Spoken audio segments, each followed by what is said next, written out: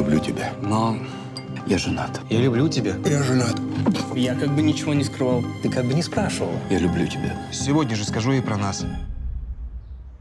Не, лучше завтра. Козлы. Поубивала бы. У вашего мужа есть любовница. Хорошо, что не любовник. Дорогая. Валя. Лена? Ира. Ты что Мальчика. Поздравляю. И таких много. Тысячи. Нас миллионы. Ну что, начнем? Карать.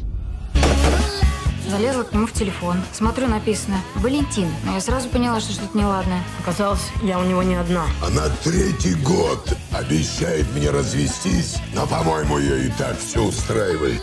Надо что-то сделать. Отомстить. Креативненько. Глаз за глаз.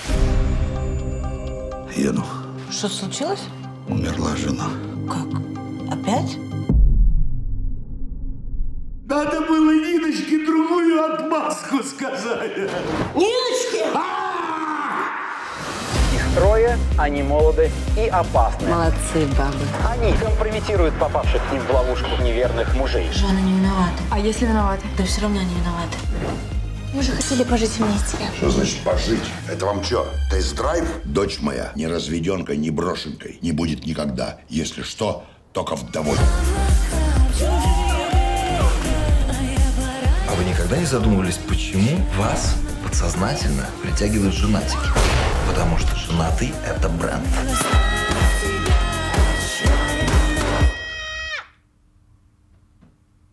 Бля, я не понял, что сейчас было.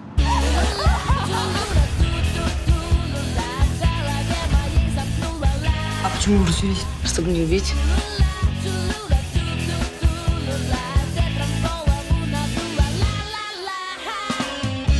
Сначала ты изменяешь своей жене, потом ты изменяешь своей стране. Мне кажется, это успех. Мне кажется, это жопа.